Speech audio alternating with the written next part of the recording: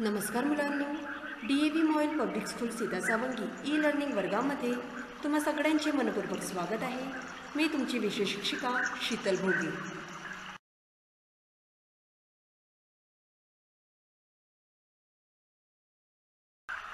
इयत्ता आठवीमध्ये मराठी विषयामध्ये. मुलांनो आजचा आपला घटक आहे पाठ बारा शब्दकोश. आज आपण या पाठाची पुनरावृत्ती करणार आहोत. मुलांनो हा आपला पाठ आहे शब्दकोश. स्थूल वाचन. दैनंदिन जीवनात आपण सहजपणे अनेक नवीन शब्द वापरतो.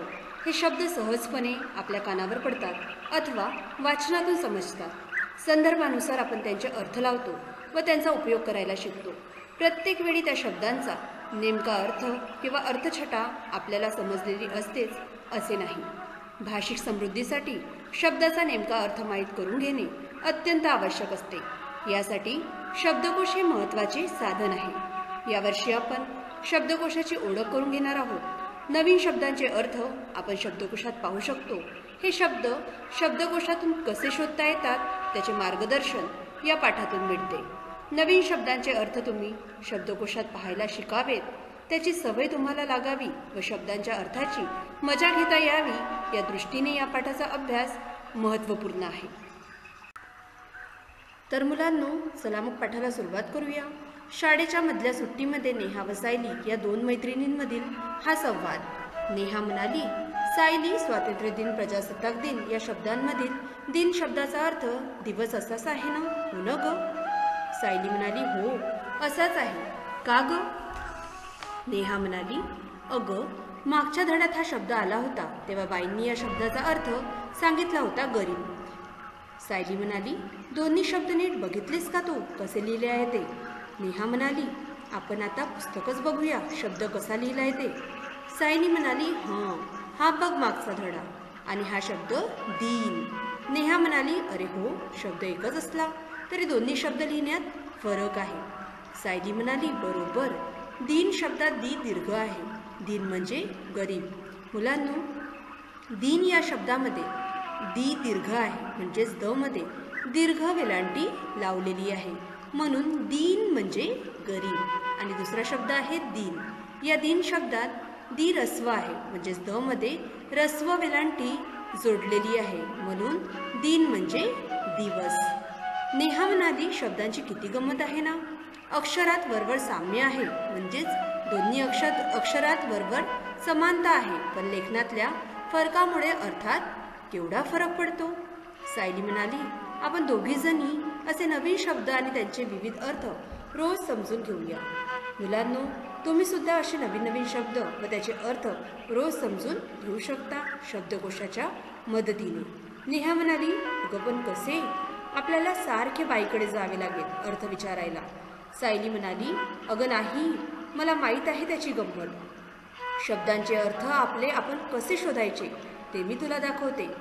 सायली आणि नेहा यांच्याप्रमाणेच शब्दांचे अर्थ शोधण्याचा आनंद तुम्हीही घ्यायला हवा आहे. त्यासाठी तुम्ही या पाठातून शब्दकोश म्हणजे काय त्याची रचना तो कसा पाहावा याबाबत माहिती घेऊन माहिती करून घेणार आहात.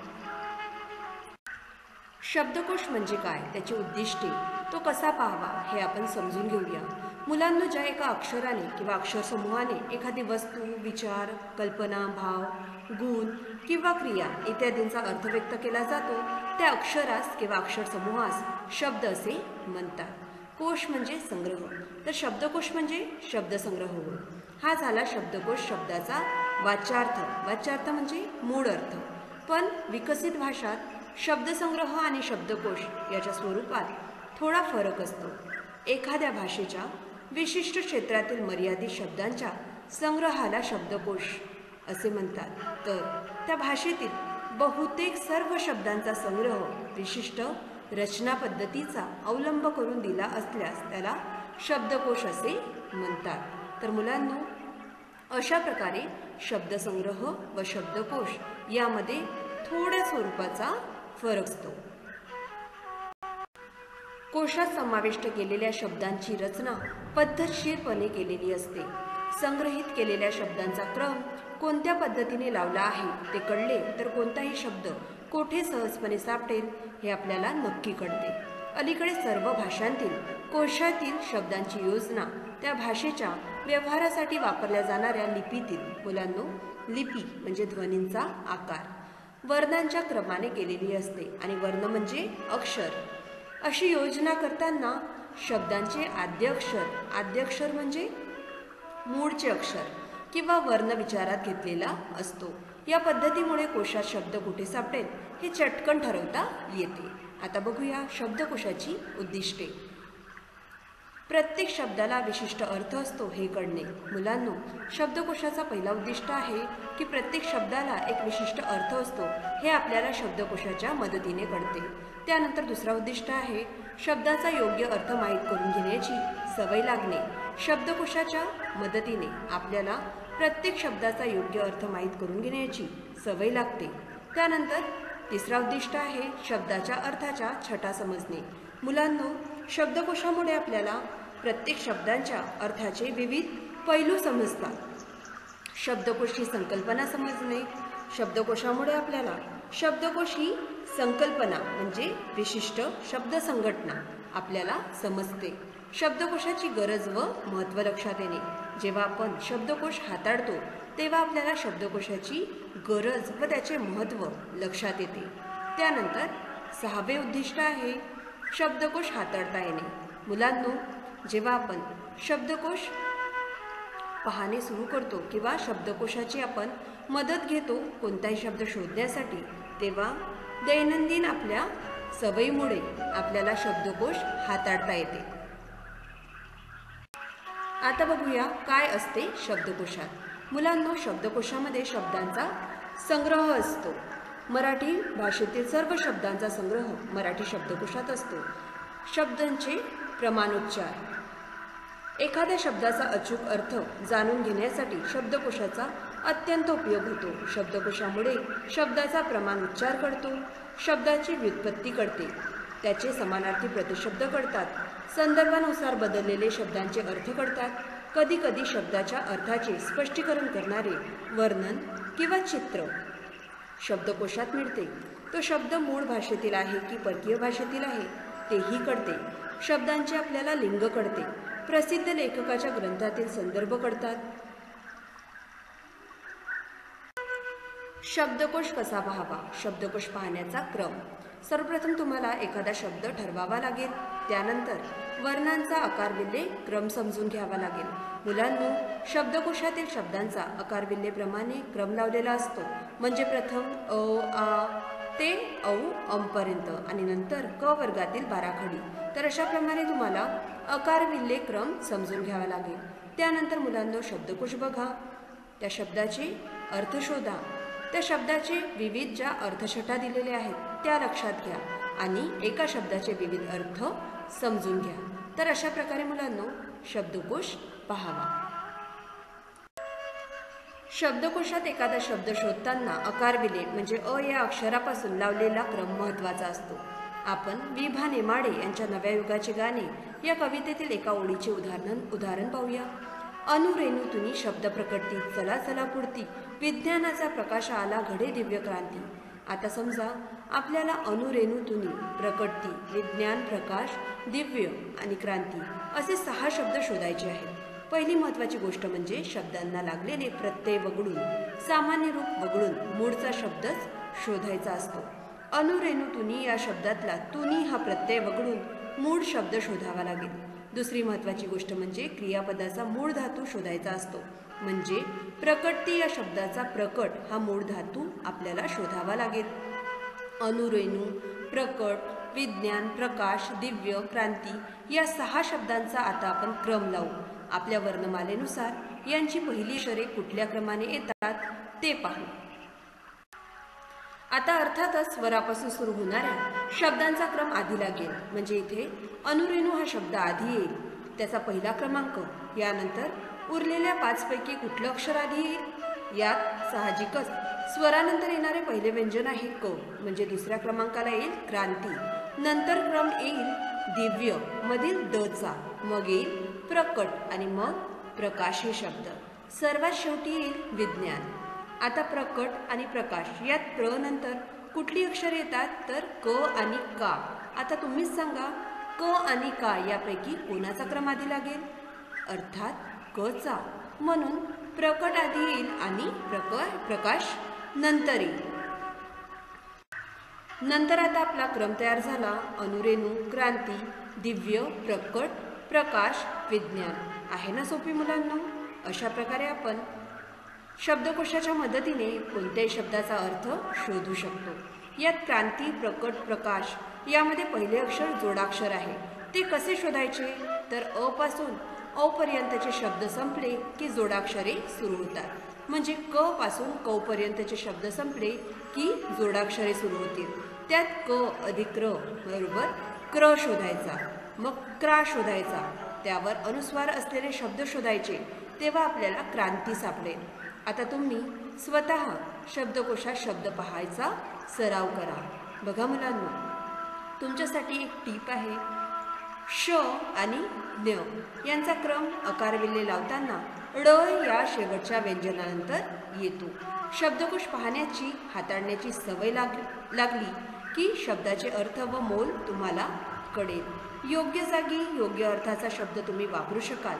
समर्पक शब्द मांडणीच्या प्रवासात शब्दकोश हे अत्यंत महत्त्वाचे साधन आहे. या साधनाचे महत्त्व जाणा. तुम्ही आत्ता उच्च प्राथमिक गटात आहात. भाषिक समृद्धीच्या वाटचालीत शकोशाचे महत्त्व जाणावे यासाठी या पाठाचा अभ्यास करणे योग्य ठरेल.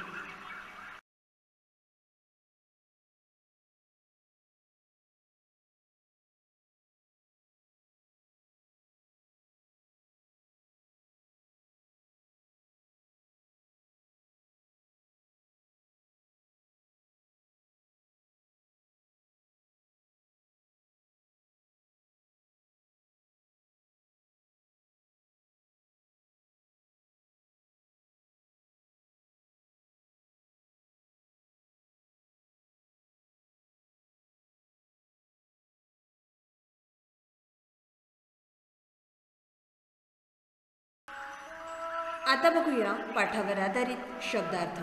दीर्घ म्हणजे लांबट रस्व म्हणजे आखूड साम्य समानता उद्दिष्ट म्हणजे हेतू भाव म्हणजे भावना वाच्यार्थ म्हणजे मूळ अर्थ क्षेत्र म्हणजे विभाग आद्य म्हणजे मूळचे सवय म्हणजे सराव व्युत्पत्ती म्हणजे निर्मिती किंवा उत्पन्न होणे दिव्य म्हणजे तेजस्वी क्रांती म्हणजे संपूर्ण बदल समृद्धी म्हणजे भरभराट अकार विल्ले म्हणजे वर्णक्रम संदर्भ म्हणजे विशिष्ट माहिती.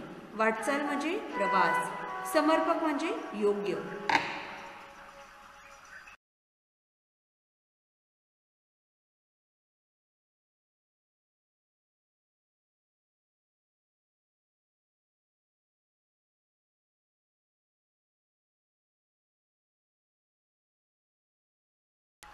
मुलांनो आता बघूया पाठावर आधारित प्रश्नोत्तरे. त्यातील प्रश्न क्रमांक एक आहे नम्रता अंबर आलोक वरद वनिता समीर शर्वरी शेखर समीरा मानसी माधवी हे शब्द अकारविल्लेप्रमाणे लावा. उत्तर आहे. बघा गट क्रमांक एक. आलोक अंबर नम्रता माधवी मानसी वनिता वरद शर्वरी शेखर समीरा समीर.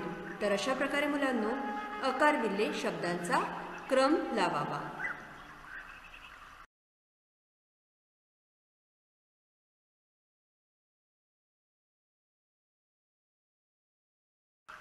प्रश्न क्रमांक दोन आहे शब्दकोशाचा तुम्हाला कळलेला उपयोग तुमच्या शब्दात सांगा.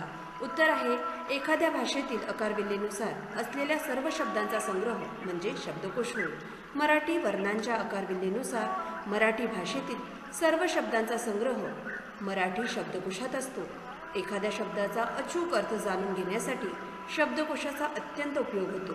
शब्दकोशामुळे शब्दाचा प्रमाण उच्चार करतो.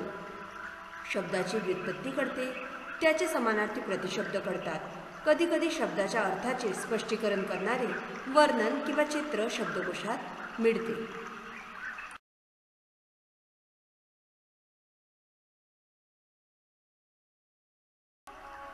तो शब्द मूळ भाषेतील आहे की परकीय भाषेतील तेही कळते. शब्दांची लिंग कळते. प्रसिद्ध लेखकाच्या ग्रंथातील संदर्भ कळतात. अशा प्रकारे शब्दाची संपूर्ण माहिती कळण्यासाठी शब्दकोशाचा महत्त्वपूर्ण उपयोग होतो.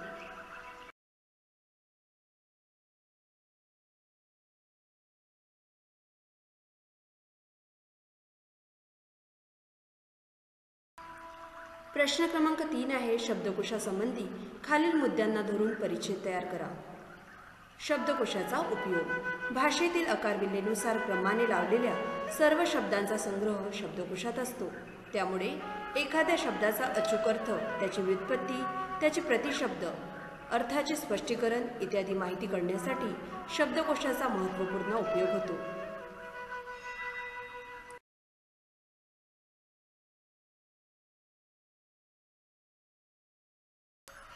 मुलांनो शब्दकोशाची उद्दिष्टे पुढीलप्रमाणे आहेत.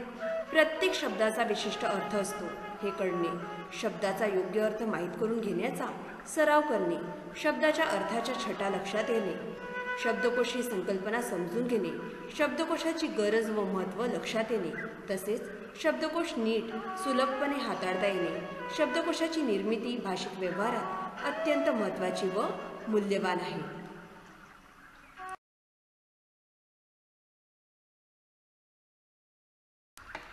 तर मुलांनो आजच्या या तासिकेमध्ये आपण पाठ बारा शब्दकोश या पाठाची पुनरावृत्ती केली.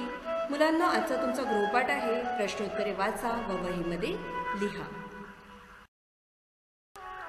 पुढील तासिकेला आपण एका नवीन पाठाची पुनरावृत्ती करूया. धन्यवाद.